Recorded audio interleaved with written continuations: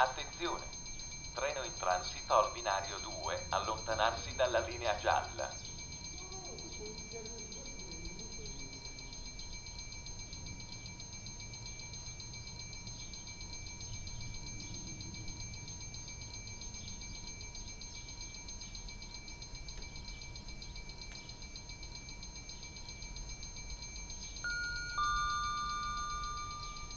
Annuncio ritardo.